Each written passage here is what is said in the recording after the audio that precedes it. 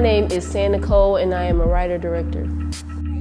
I would say my artistic style is simple and relatable.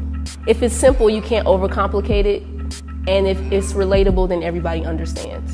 There's a lot of growth in the city.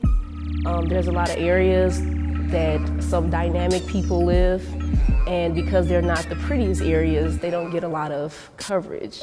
I did a lot of my short films in like the Bronzeville um, area because I felt like that was an up and coming area and there were a lot of young black professionals there and nobody saw the young black professionals, but they're there. And uh, that's something that you don't see often on television. So I wanted to make sure that if I was creating something that I would shine light on the things that when people think about Chicago, they don't see.